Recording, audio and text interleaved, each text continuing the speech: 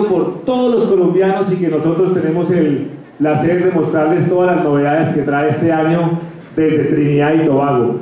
Todas las noches ustedes lo verán muy pronto en Caracol Televisión y obviamente el desafío superhumano está de la mano de Margarita Rosa de Francisco, que pues ya ustedes lo saben es la dama y señora de este programa que tanto queremos nosotros aquí en Colombia y estará a cargo de sacarles todo a 42 personajes de seis regiones diferentes que estarán listos para dar todo el esfuerzo, todo el coraje, toda la fuerza para sacar adelante su pecho y sus regiones. Entonces vemos antioqueños, costeños, cachacos, santanderianos, vallecaucanos y cafeteros, que son las seis regiones que veremos noche a noche enfrentándose en este programa que nos va a llevar la adrenalina, pero al 100%. Vamos a darle paso entonces a nuestro vicepresidente de contenido, Dago García, para que les diga a ustedes qué es lo que tenemos con desafíos superhumanos. Dago. gracias. Un aplauso para Dago, por favor. Bueno, buenas tardes, muchas gracias por estar acá. Definitivamente las empresas de contenido se consolidan y ganan arraigo cuando logran desarrollar marcas.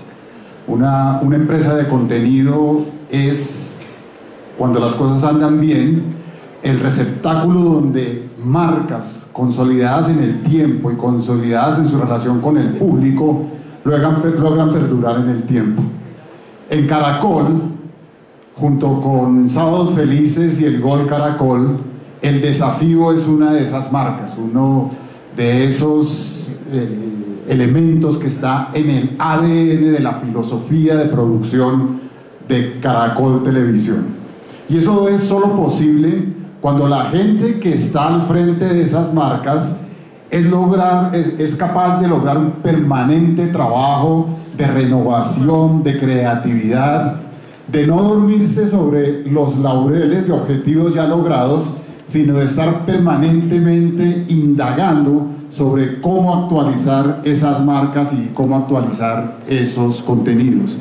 Y ese es el caso concreto del desafío que, como ustedes han sido testigos, año tras año le ofrece al público dentro de su mismo formato novedades, nuevas atracciones, nuevas aristas que hacen que también año tras año el público siga acompañándonos y siga poniéndonos en el lugar de liderazgo que por fortuna hemos conservado durante unos buenos años. Y como decía, solamente cuando hay un trabajo de autocrítica, de renovación y de creatividad es que estas marcas logran perdurar. En el caso de Caracol, esto es gracias a nuestra gerencia de entretenimiento, de la cual nos sentimos muy orgullosos, que no solamente se ha dedicado a generar nuevos formatos como el caso de otro nivel, sino a cuidar, renovar y hacer perdurar en el tiempo formatos y contenidos como el desafío.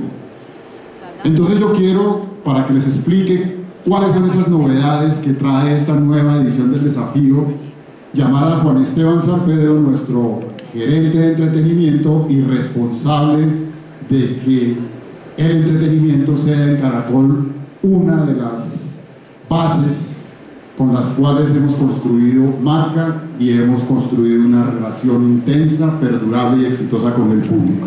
Por favor, Juan.